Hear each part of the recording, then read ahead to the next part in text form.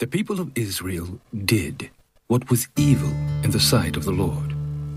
And the Lord gave them into the hand of Midian seven years.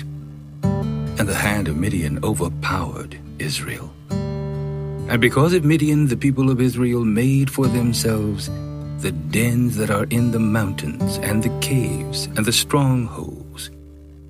For whenever the Israelites planted crops, the Midianites and the Amalekites, and the people of the east would come up against them. They would encamp against them and devour the produce of the land as far as Gaza, and leave no sustenance in Israel, and no sheep or ox or donkey. For they would come up with their livestock and their tents. They would come like locusts in number. Both they and their camels could not be counted, so that they laid waste the land as they came in. And Israel was brought very low because of Midian. And the people of Israel cried out for help to the Lord. When the people of Israel cried out to the Lord on account of the Midianites, the Lord sent a prophet to the people of Israel. And he said to them, Thus says the Lord, the God of Israel I led you up from Egypt and brought you out of the house of slavery. And I delivered you from the hand of the Egyptians, and from the hand of all who oppressed you, and drove them out before you, and gave you their land. And I said to you, I am the Lord your God. You shall not fear the gods of the Amorites, in whose land you dwell. But you have not obeyed my voice.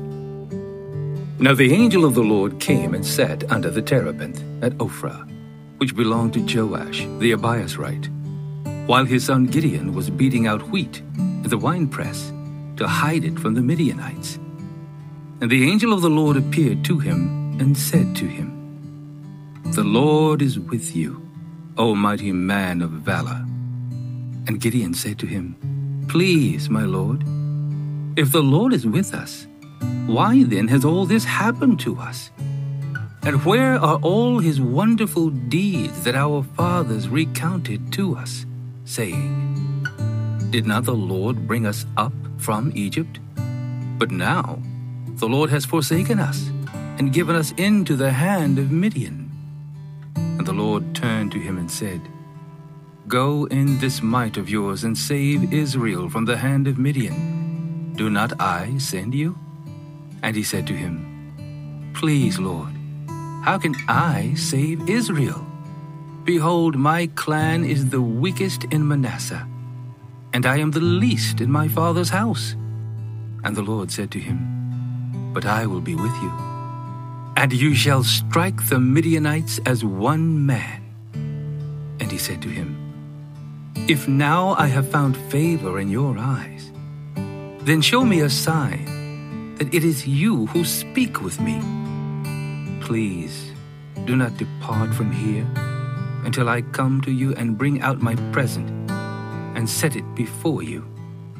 And he said, I will stay till you return. So Gideon went into his house and prepared a young goat and unleavened cakes from an ephah of flour. The meat he put in a basket, and the broth he put in a pot, and brought them to him under the terebinth, and presented them. And the angel of God said to him, Take the meat and the unleavened cakes, and put them on this rock, and pour the broth over them. And he did so. Then the angel of the Lord reached out the tip of the staff that was in his hand, and touched the meat and the unleavened cakes. And fire sprang up from the rock, and consumed the meat and the unleavened cakes. And the angel of the Lord vanished from his sight. Then Gideon perceived that he was the angel of the Lord. And Gideon said, Alas, O Lord God, for now I have seen the angel of the Lord face to face. But the Lord said to him, Peace be to you. Do not fear. You shall not die. Then Gideon built an altar there to the Lord and called it, The Lord is Peace. To this day it still stands at Ophrah, which belongs to the Abiezrites. That night the Lord said to him, Take your father's bull, and the second bull, seven years old, and pull down the altar of Baal that your father has, and cut down the Asherah that is beside it, and build an altar to the Lord your God on the top of the stronghold here, with stones laid in due order.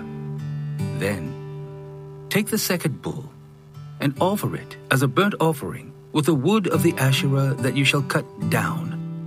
So Gideon took ten men of his servants and did as the Lord had told him. But because he was too afraid of his family and the men of the town to do it by day, he did it by night. When the men of the town rose early in the morning, behold, the altar of Baal was broken down, and the Asherah beside it was cut down, and the second bull was offered on the altar that had been built. And they said to one another, Who has done this thing? And after they had searched and inquired, they said, Gideon, the son of Joash, has done this thing. Then the men of the town said to Joash, Bring out your son, that he may die. For he has broken down the altar of Baal and cut down the Asherah beside it. But Joash said to all who stood against him, Will you contend for Baal, or will you save him? Whoever contends for him shall be put to death by morning. If he is a god, let him contend for himself, because his altar has been broken down. Therefore, on that day, Gideon was called Jerubbaal, that is to say, let Baal contend against him, because he broke down his altar. Now, all the Midianites and the Amalekites and the people of the east came together, and they crossed the Jordan and encamped in the valley of Jezreel. But the Spirit of the Lord clothed Gideon, and he sounded the trumpet. And the Abiezrites were called out to follow him. And he sent messengers throughout all Manasseh, and they too were called out to follow him. And he sent messengers to Asher, Zebulun, and Naphtali, and they went up to meet them. Then Gideon said to God, If you will save Israel by my hand, as you have said, behold, I am laying a fleece of wool on the threshing floor. If there is dew on the fleece alone, and it is dry on all the ground, then I shall know that you will save Israel by my hand, as you have said. And it was so. When he rose early next morning and squeezed the fleece, he wrung enough dew from the fleece to fill a bowl with water. Then Gideon said to God, Let not your anger burn against me. Let me speak just once more. Please, let me test just once more with the fleece. Please, let it be dry on the fleece only. And on all the ground, let there be dew. And God did so that night. And it was dry on the fleece only. And on all the ground, there was dew.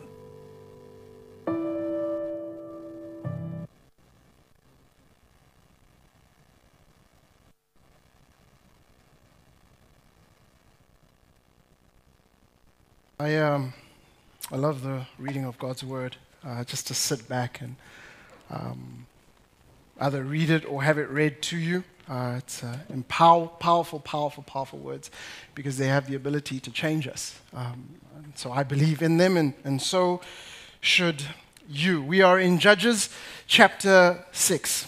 Judges chapter 6 is where we will be this morning, and we're talking about courage. All right, courage. What is courage? Where do we find courage? How can we be more courageous? Uh, what does it look like uh, to be a person of courage? And we're going to be looking at the life of Gideon. All right, or Gideon. I understand there's different pronunciations to this name, uh, but I prefer Gideon. So we're going to look at the life of Gideon. But before we do that, I'm going to pray. All right, we have a lot to get through in a short amount of time. And so let me pray. I pray for you, you pray for me uh, that God would do that which only He can do. Um, and so, Father, I, I ask that my words would submit to yours. I ask that my heart would submit to yours, uh, that you would do a work in this place. In Jesus' name we pray. Amen. So the chapter begins with the Israelites at it again. All right, at it again. They've experienced a season of peace, uh, but now they've taken their eyes off God and things are going horribly bad again. Right? Verse 1 it says, The Israelites did what was evil in the sight of the Lord. So the Lord handed them over to Midian seven years. Now, if you were here last week, you'd remember that, that I, I, made the point that the, the Midianites had a, a relatively close relationship to the Israelites, a somewhat friendly one. And, and yet here we see that, that, that the Midianites are the ones oppressing the Israelites. Now, so I did say last week, look, they have a, a friendly relationship, but it wasn't a perfect one right? It wasn't a perfect one, but, but here we are. Uh, the Lord has handed the Israelites over to the Midianites, right? Uh, and they oppressed Israel. Because of Midian, the Israelites made hiding places for themselves in the mountains, caves, and strongholds. Whenever the Israelites planted crops, the Midianites, Amalekites, and the people from Pretoria East came and attacked them. That's not, that's not, that's not what it says. That's not what it says. But if you've, there's some places in Pretoria East that you're like, it's possible. And I know some of you guys are thinking, is he talking about mums? No, mums is great. All right? talking about Silver Lakes. But anyway, let's carry on. And they encamped against them and destroyed the produce of the land, even as far as Gaza. They left nothing for Israel to eat, as well as no sheep, ox, or donkey. For the Midianites came with their cattle and their tents like a great swarm of locusts. They and their camels were without number, and they entered the land to lay waste to it. So the Israel became poverty stricken because of Midian, and the Israelites cried out to the Lord. See, what's different here than the other places that we have been is that the Midianites, the Amalekites, and the, the people from the east, they, they didn't come to occupy the land, they came to plunder it. They came to plunder it, leaving them poverty stricken. And so the Israelites cry out to the Lord. Verse 7 When the Israelites cried out to him because of Midian, the Lord sent a, a prophet. They're crying out to God and they're going, God, would you save us? Would you send us a deliverer? Would you come and rescue us? And then God sends them a sermon. So don't knock the sermon, guys. Don't knock the sermon. The Lord sent a prophet to them. He said to them, This is what the Lord God of Israel says I brought you out of Egypt and out of the place of slavery. I rescued you from the power of Egypt and the power of all who oppressed you. I drove them out before you and gave you their land. I said to you, I am the Lord your God. Do not fear the gods of the Amorites, whose land you live in. God sends them a sermon to remind them of what he has done. And in reminding them of what he has done, he's reminding them of who he is. If you were here at part one, you would remember me saying that forgetfulness leads to unfaithfulness. This is why we regularly do this. We, we, we, don't do it because it's like, well, we have nothing else to do on a Sunday morning. No, we gather to be reminded of God's faithfulness. Because we navigate through the week, eh, eh, through times of challenge and, and, and uncertainty, and we just we don't know what's going on. And so, so we need to be reminded lest we take matters into our own hands. He sends them a prophet who brings a sermon to remind them of what God has done and who he is. And the prophet says, But you did not obey me. Saying, God is saying to you guys, You did not obey me. Friends, the biggest problem that the Israelites had was not the Midianites. Their biggest problem was their own wickedness. Their biggest problem was their own hearts. It was their disobedience, not the Midianites. And so God sends a teaching to reveal this to them. But then, how does the sermon end? How, does the prophet's sermon end? With God interrupting.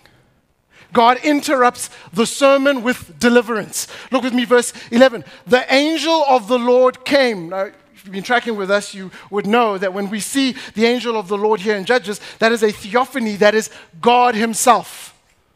The angel of the Lord came and he sat under the oak that was in Ophrah, which belonged to Joash, the Abiezrite. His son Gideon was threshing wheat in the winepress in order to hide it from the Midianites. This is a, a really strange place to thresh wheat. See, the threshing of wheat, um, by no means a farmer, but, but you would take the, the wheat, after gathering it, you'd put it in a, a bowl, and, and then you'd stand where there is a breeze, so that as you kind of throw up the wheat, the breeze would catch what they call the chaff, and then the chaff would remove, like the wind would remove the chaff, the stuff that you don't want. And uh, yet he's doing this in a wine press. W- wine presses were, were, were dug in the ground. There's no breeze coming through there. He's doing this because he's afraid. He's afraid of the Midianites. He, he's, he's doing the right thing in the wrong location.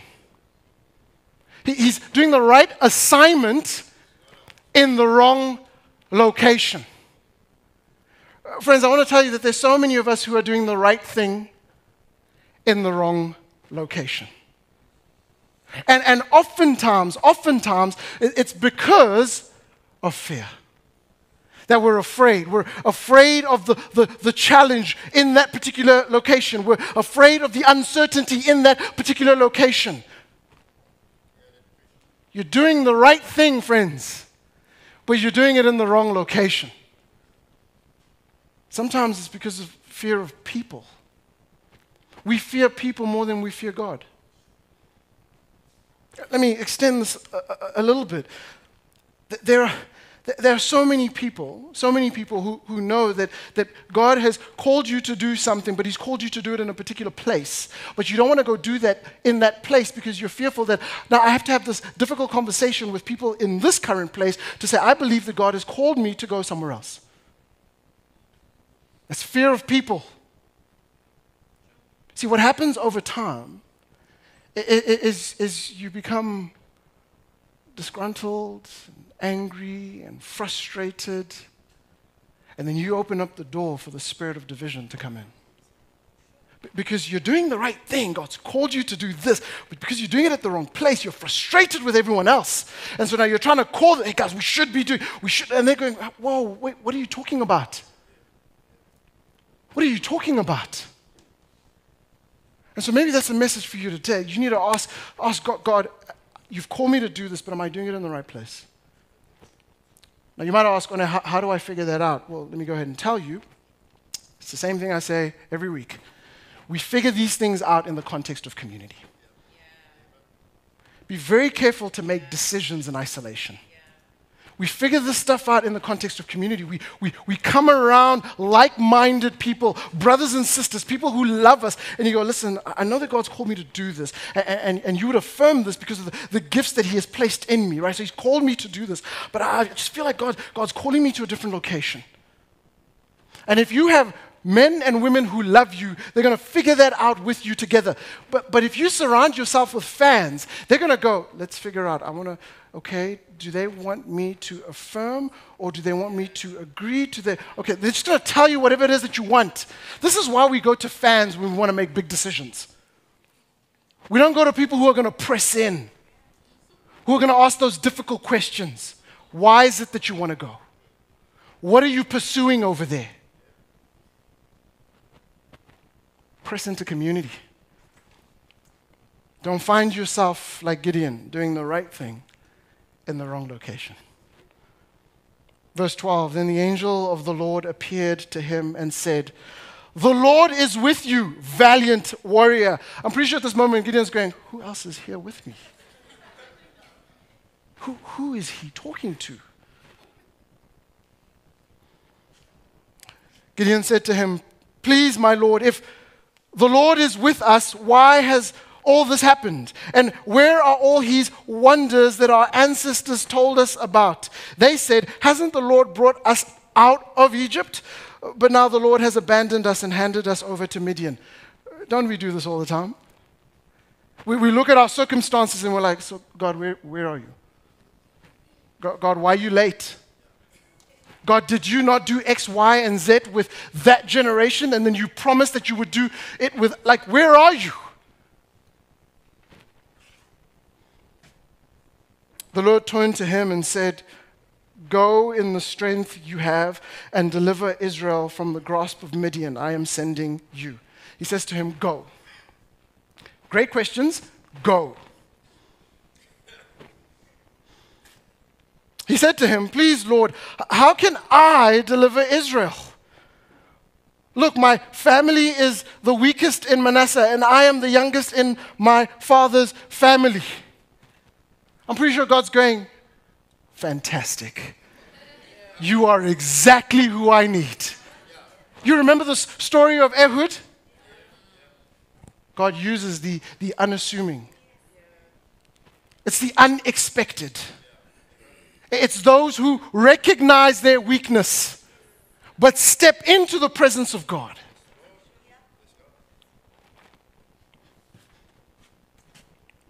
But I will be with you the Lord said to him.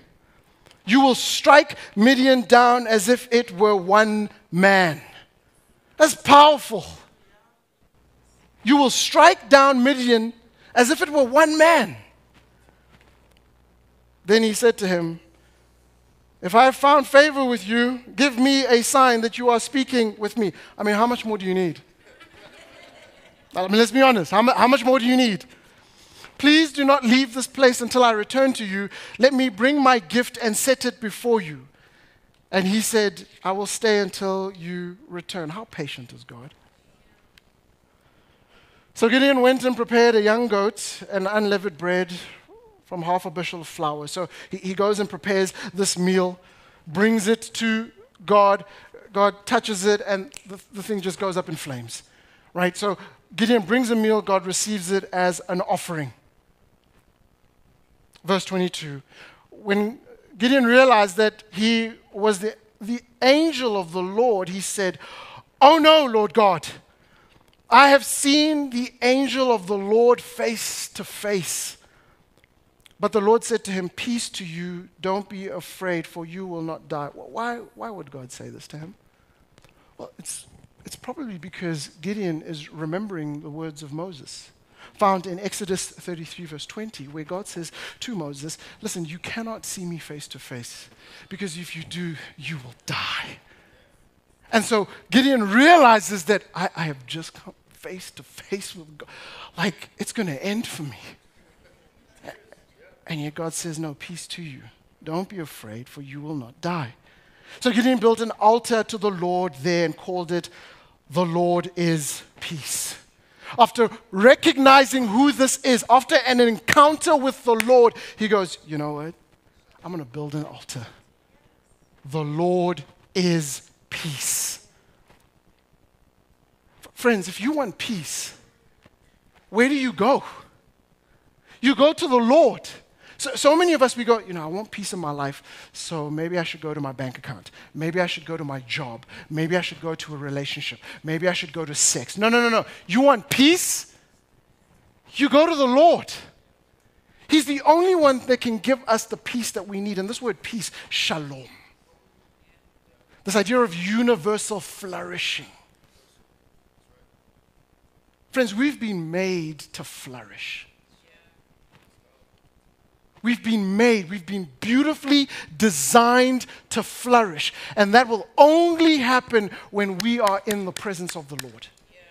There is no other way. I, I, don't care what anyone else tells you, I don't care what book you read, I don't care what podcast you heard. The only way that you will find shalom is to be with the Lord. Gideon recognizes this and he builds an altar and he says, I'm going to call this the Lord is peace. Now, all of this is happening to Gideon while he's, he's threshing wheat in a hiding place. God calls him and he says, No, you go, you go, you go and deliver Israel. This brings us to our first point. And that is, Gideon is not called because he's courageous. He is courageous because he is called. Let, let, me, let me say that to you again. Gideon is not called because he is courageous. He's not. He's hiding. He is courageous because he is called. In verse 12, God calls him a, a, a valiant warrior. See, here's what God is doing. He, he's, he's, he's not describing Gideon as he is but rather as he will become. If, if you're trying to distinguish between the voice of God in your life and the voice of Satan, God will always describe you as you are becoming holy, redeemed, restored. The voice of Satan will always describe you of how you used to be. You're an enemy of God, you're worthless, broken. That, that, that, that's the difference. And so, in this moment here, God is saying, No, no, no, get in. This is, I'm calling you by what you are going to become. God doesn't call the brave, He makes the called brave. And if you are a child of God, if you've crossed the line of faith, you have been called and you have been clothed with all of God's goodness and all that He promises you. God then commissions Gideon. He tells him to go. He says, I am sending you, in verse 14. The Lord turned to him and said, Go in the strength you have and deliver Israel from the grasp of Midian. I am sending you. God is sending you today. He is sending you to your neighborhood. He is sending you to your place of work. He is sending you to your family. He's sending you to your friends. Go, he says. This is why we often talk about the Great Commission here. And we should treat it as a commandment. It's not a suggestion. So many of us, we think of it as a suggestion. And I say this over and over and over again because we need to hear it. But, but I, I, don't, I, don't know if, I don't know if I have the right words. I, I, just, I don't know if I have the right intellect. I don't know if I know all of, all of the scriptures. God goes, you're the perfect person. It's the arrogant that God goes, I, I can't use. It's those who think they have it all together. God goes, I can't, I can't use. But those who come with open hands and go, okay, I, I don't know what's in front of me. I don't know how it's going to kind of play itself out. I, I, I, just don't know. But you know what? God, you said you are with me. Yeah. And that is all that I need. Amen. And so he sends Gideon. But notice, you heard it read to you. Before Gideon goes and fights the Midianites. And we'll get to that, right? The, the whole story of the 300, it's epic. We love it. But, but before we get there, God sends Gideon home. He sends him home. Verse 25, it says, On that very night, the Lord said to him, Take your father's young bull and a second bull, seven years old, then tear down the altar of Baal that belongs to your father and cut down the Asherah pole beside it. He, he sends him home. And he says, Okay, now, now you've had this encounter with me. Now I need you to go home, demolish that altar and establish something for me. So, so many of us, we want revival in our nation. We want revival in our city.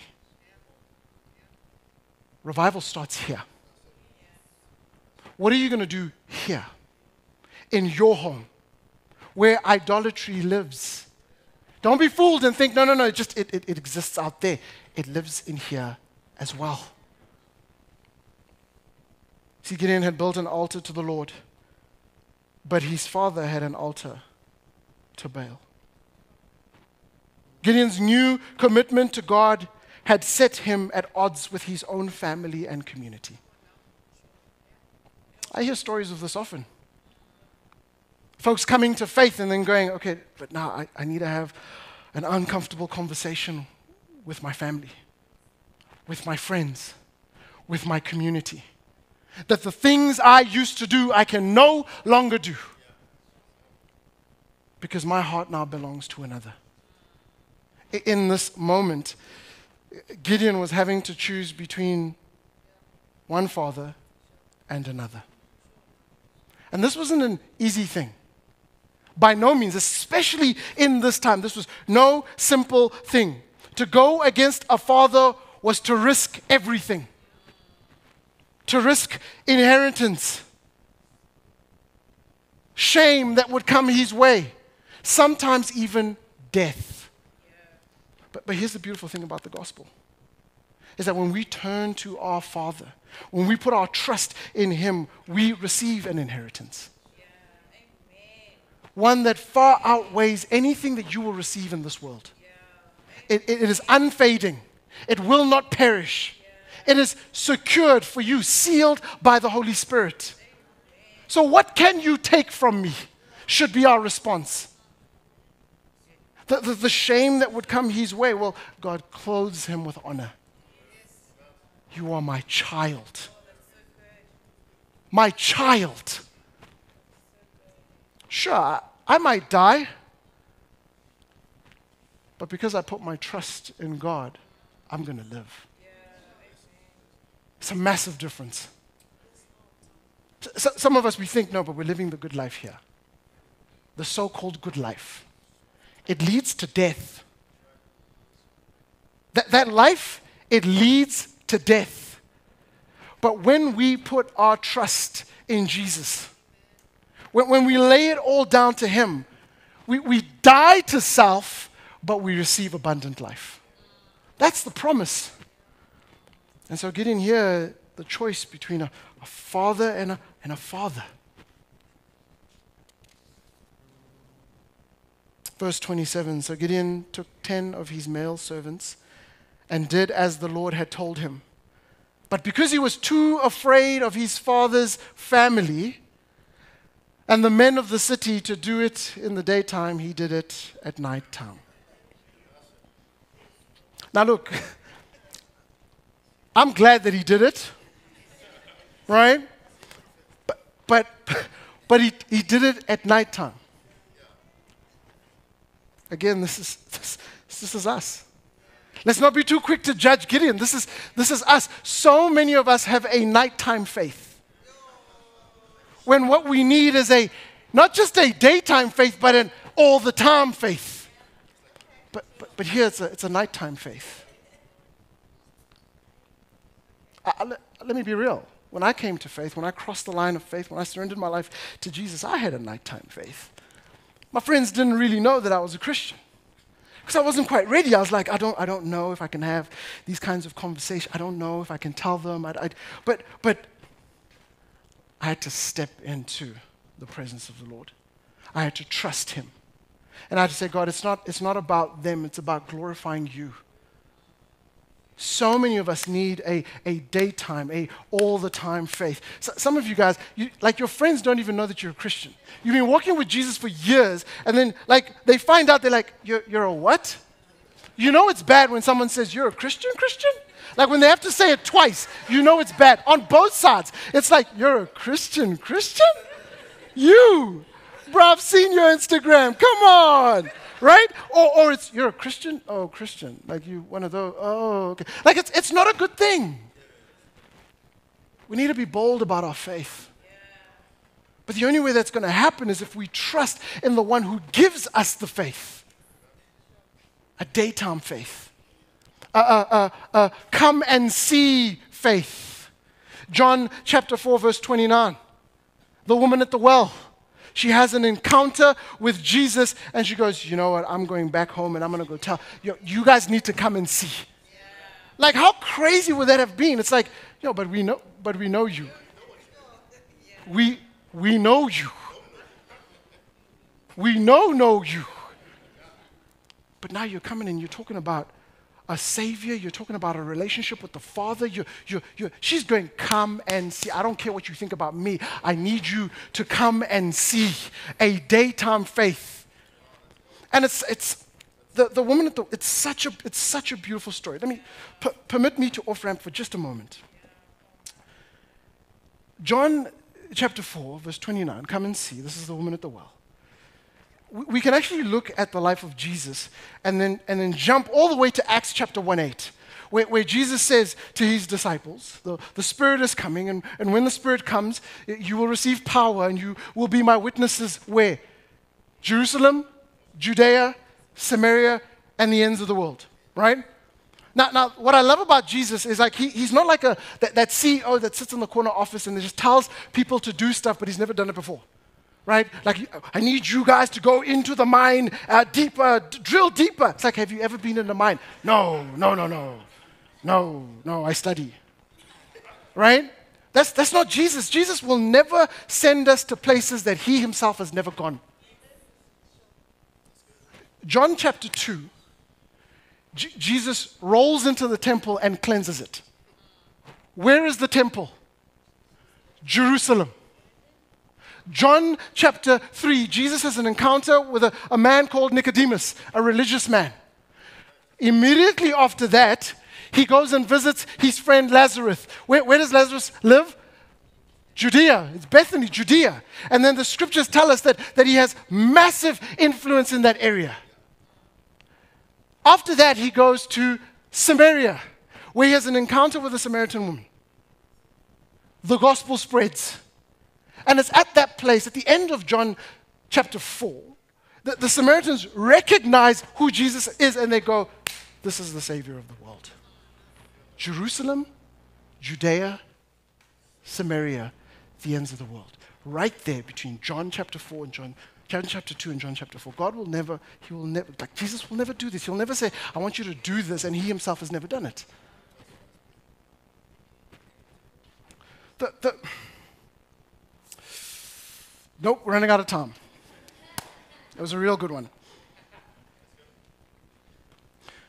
The people wake up in the morning, they see that their altar has been torn down. Verse 29 they said to each other, Who did this? After they made a thorough investigation. I have no idea what this means. Is this like CSI? Is it like, was there fingerprints where they're like, we know, we know? And then they like ask a few people, and then they stand and they go, we're ready to give a profile. Middle aged Hebrew man? No, no, no. They made a thorough investigation. They said, Gideon, son of Joash, did it. Uh, then the men of the city said to Joash, Bring out your son. He must die because he tore down Baal's altar and cut down the Asherah pole beside it. I'm pretty sure Gideon at this point was thinking to himself, this was not a good idea.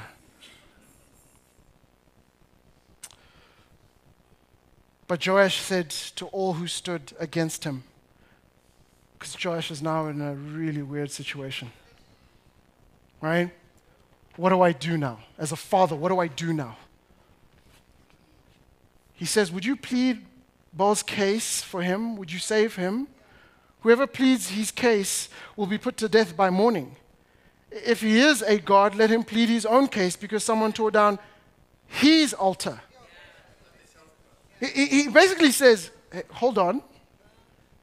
If this idol is as powerful as we have been saying, then let him defend himself. Let this false God defend himself.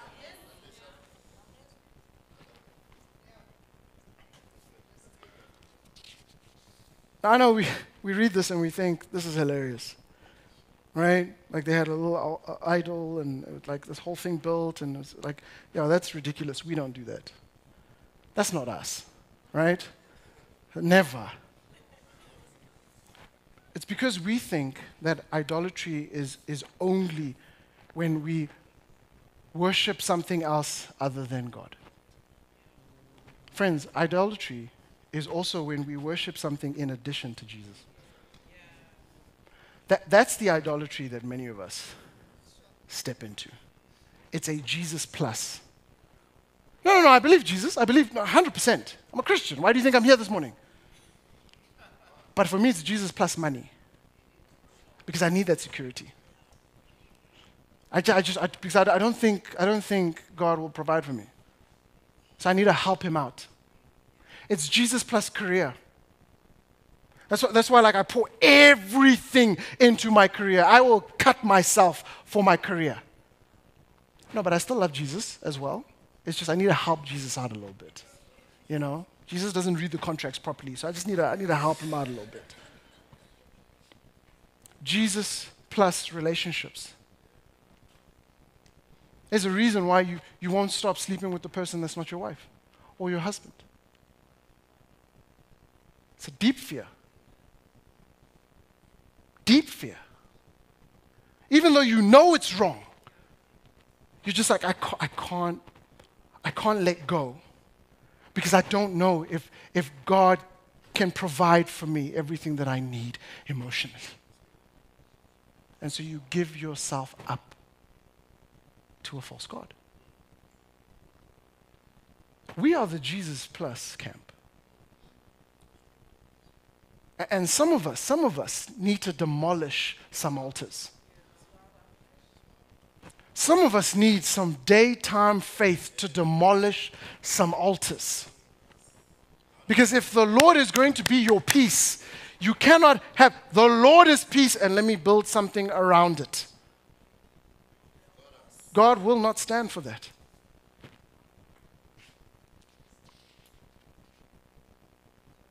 Faced with having to choose between this false God and his son, Gideon's dad chooses to save his son and let this false God take his own chances. And it works. Yeah. How crazy is that? It works. Which makes me wonder what kind of influence did Gideon's dad have?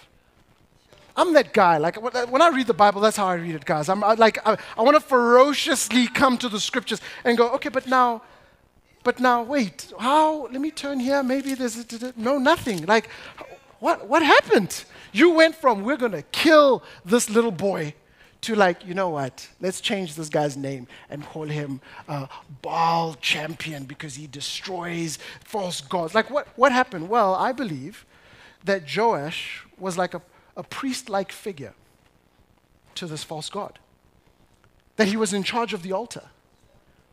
And so that means that, that when the people listen to him and they go, okay, hold on, this guy is saying that this is not real. We should listen. Why am I telling you this?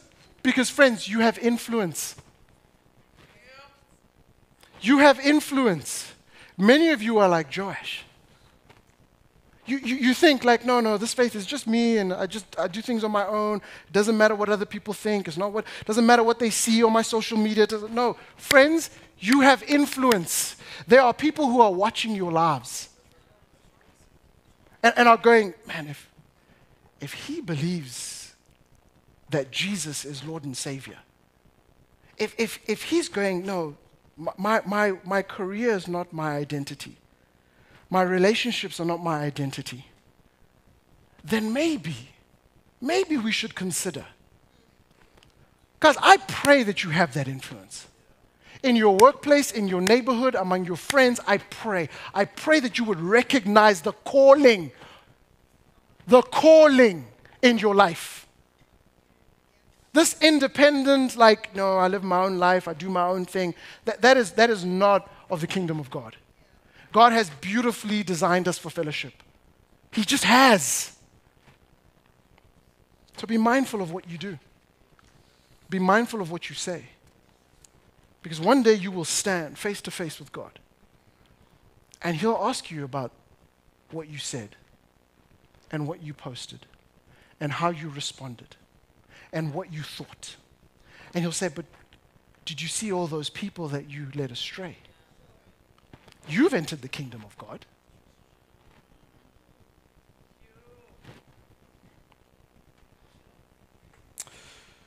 Verse 33 All the Midianites, Amalekites, and the people from the east gathered together, crossed over the Jordan, and camped in, Jez- in the Jezreel Valley. This is the same spot that Barak fought Sisera and his army last week. The Spirit of the Lord enveloped, is that how you say it? Yeah. Clothed Gideon. There we go. And he blew the ram's horn, rallied the people. He sent the messengers all throughout Manasseh. He sent messengers also to Asher. Remember Asher from last week? They were the ones chilling by the harbor. They didn't go to battle, but now here they show up. I'm glad they listened to the sermon. Don't knock the sermon. Called a whole bunch of people and they came to meet him. And then they go to war. We'll catch up on that in the next part. But, but it's this next section that we get to, verse 36 to verse 40. What is famously known as the wool fleece test. Right? Many of us know this. It's like, okay, God, like if you're really with us, then, then, then make the wool uh, wet and the grass dry. And then he does it. He's like, okay, okay, okay, let's change things up again. Maybe do, maybe, like, I love the fact that he says in verse 39, don't be angry with me. now, I've been married long enough to know that if I start a conversation that way, like, you just know, right? Like, I know I've done something, like, hey, I just don't, listen, don't be angry with me. Okay, and then you say it and you're like, but how? How can I not be angry? How? How? But God isn't. God isn't. The famous wool fleece test. Now, this portion of scripture has been misused, abused, and confused in so many ways right? Now, I don't have time to unpack like where places have, where people have taken this and, and, and, and all of it, but, but let me try to make it plain for you as I land the plane. That this isn't about how to make decisions. That's, that's not the application here. It's not like, okay, um, God, I have two jobs um, could you do what you did for Gideon? And then you go outside in the morning and you lay out, like, so if you do this, like, that's not what it's about. It's not about making decisions. Why? Because Gideon already knew what God wanted him to do. That part was clear. So it's not about that. Leaving us with the question, then, then what is going on here? Friends, this is about Gideon's fear and his deep desire for assurance. That's what's going on here. It's about his fear and this deep desire for assurance. The struggle is real. The places that God calls us, they, they, they, they, are challenging, they are uncertain, it's, it's hard, it's real. And so we often find ourselves looking to the heavens and going, God, are you really with me? I need assurance. And what's beautiful is that our loving Father doesn't condemn Gideon. That means he doesn't condemn us. God is not afraid of your doubts. So many of us, we, we doubt and then, and then we, we run to all these places hoping that they, that they will fill that, that they will give us comfort, that they'll assure us. No, God is, God is not worried about your doubt. Bring your doubt to Him. He's more concerned when you take your doubt somewhere else. Bring your doubt to Him. He will assure you. He assured Gideon and He will assure us. And so, what is our wool fleece. The cross. The cross. We only have to look to the cross. God, are you with us? The cross. God, will you provide for us? The cross. God, will you protect us? The cross. God, will you heal us? The cross. Will you restore and reconcile? The cross. Amen. He sent his one and only Son as assurance for us. To say, that which I promised years ago, here it is now. He will live the life that you and I were meant to live. He will die the death, the, the horrific horrendous death that you and I deserve. And then he will walk out of that tomb. He will walk out of that tomb clothed in victory. And then he will look to his people and he will say, Come, let's go. I am with you. We are the activity of God in this world. God, will you send? Will you? Will you? The economy, the, it's unstable. I don't know. That like racism, prejudice. It's tough. Poverty. Like will, will broken. Will, will you? Send? And God says, I'm sending you. Rooted fellowship. You, you, you. Clothed in Christ's victory. And whenever you need assurance, look to the cross. Our courage comes from our salvation, empowered by the Spirit.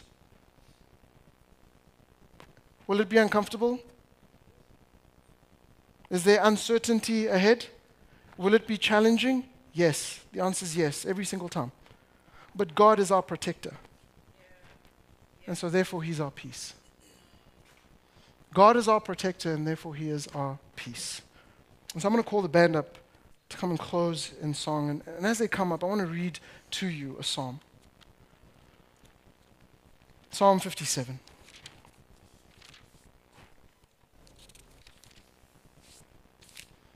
Hear these words of our Father. As, as I believe they, they, they, they come in the spirit of what we've just walked through in the life of Gideon. God doesn't call the brave, He makes the cold brave. That if you want revival, revival begins at home. God won't call you somewhere to a place to go do something if you're not willing to do it here. And if we ever need assurance of if you will be with us, we look to the cross. Psalm 57 says this Be gracious to me, God. Be gracious to me, for I take refuge in you. I will seek refuge in the shadow of your wings until danger passes. I call to God Most High, to God who fulfills His purpose for me. He reaches down from heaven and saves me, challenging the one who tramples me. God sends His faithful love and truth. I am surrounded by lions. Whether it's in your workplace, in your neighborhood, in your community, with your friends, with your family. I, I, I know it feels like I'm surrounded by lions. I lie down among the devouring lions. People whose teeth are spears and arrows, whose tongues are sharp swords. God be exalted above the heavens. Let your glory be over the whole earth. They prepared a net for my steps. I was despondent. They dug a pit ahead of me, but they fell into it. My heart is confident, God. My heart is confident. I will sing. I will sing praises. Wake up, my soul. So, so, some of you need to cry out to your soul and say, Wake up.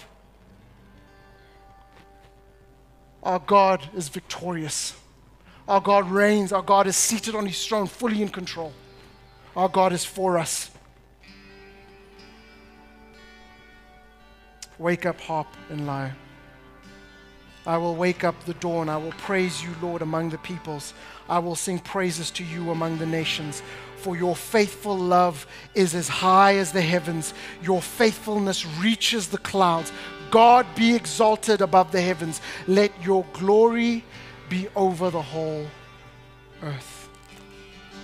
And so, Father God, we, we ask that you would wake up our souls. That we would recognize that you are God, that you are our Father, that we are loved more than we could ever imagine, that there is no sin that is beyond your forgiveness. Lord, I pray in this moment that you would convict hearts that so many of us have walked away from you, believing that we are the masters of our own destiny. That we've been lured by the, the lies of the evil one. Holy Spirit, meet us here this morning. Be strong and courageous. And for some of us, that just simply means to be strong enough to say, I am not in control and I need you, Jesus. Before it's about leaving these, these doors and, and going out into the world and, and sharing our faith and making disciples, it's, it's about just being honest with ourselves and saying, I'm in desperate need of a Savior. I've tried to do this on my own. And it just doesn't work. I just want to be honest, it just doesn't work. I need you. Make us strong, make us courageous, Lord. Wake up our souls. And let us sing to the King of Kings, the King of Glory. In Jesus' name we pray.